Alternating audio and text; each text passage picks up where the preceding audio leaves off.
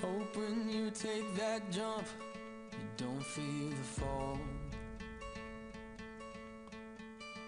Hope when the water rises, you build a wall.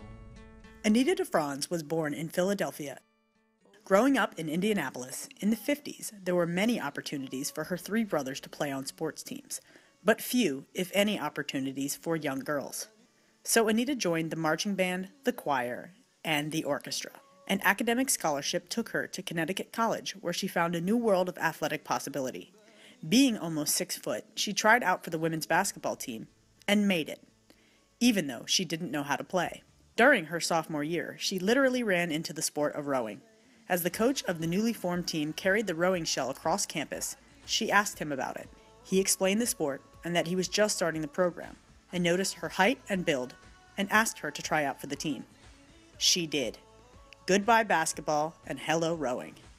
She had a natural athletic ability and more than her fair share of determination. Quickly, she became one of the best rowers on the team, and her coach suggested that she consider the Olympics. After graduating with honors in political philosophy, in order to make her parents happy, she applied to law school. To make herself happy, she applied to the University of Pennsylvania, which is known for the Vesper Boat Club. In 1975, she made the U.S. national team and began training for the 1976 Olympics, where the sport of women's rowing was making its debut.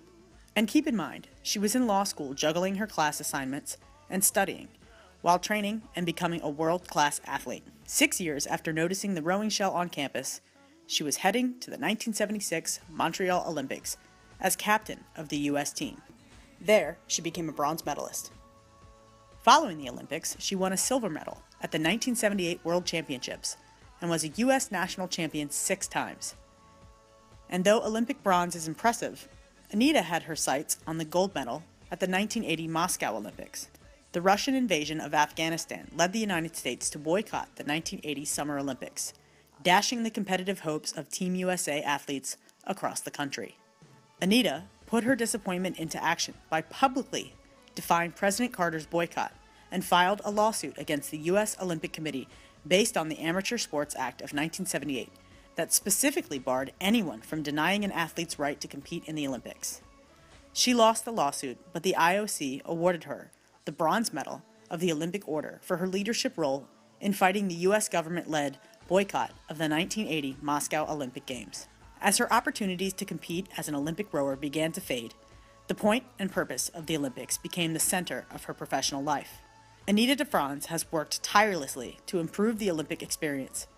She has done this by becoming involved with Olympic organizations at the national and international level. In 1986, Anita became the first woman and the first African American to represent the United States on the International Olympic Committee. She was granted lifetime membership, and in 1997, she was elected to serve as the vice president of the IOC's Executive Committee. She is still a member of the IOC board and was recently re elected to the IOC's Executive Committee. Her activities include serving as chair of the Commission on Women and Sports. She is credited with getting women's softball and soccer added to the Olympics. When the first U.S. women's softball team beat China for the gold in Atlanta in 1996, guess who was in the stands cheering? No surprise that Anita DeFrantz is the executive who's called the most powerful woman in sports. Today, she is the president and member of the board of directors of the LA84 Foundation, which manages Southern California's $90 million endowment from the surplus of the Los Angeles 1984 Olympic Games. LA 84 Awards grants to youth sports organizations and manages the largest sports research library and resource center in North America, a state of the art research facility and learning center dedicated to the advancements of sports knowledge and scholarship. The foundation also maintains a sizable collection of historic sport art and artifacts. The LA84 Foundation is the nation's leading authority on youth sport issues and has committed more than $214 million to accomplish its mission since 1985. To date, more than 3 million boys and girls and more than 1,100 youth sports organizations throughout Southern California have benefited from the endowment. She remains committed to the rights of athletes and works hard to keep international sports free from politics. Anita has been a warrior and a winner in her dedication to providing athletes of all ages and skill level the opportunity for sport to build their self esteem. Anita, with appreciation, we salute your leadership, your tenacity, and your success while serving your country and making a difference across the globe for girls and women in sport. Bigger picture of being a champion award winner, Anita DeFrantz.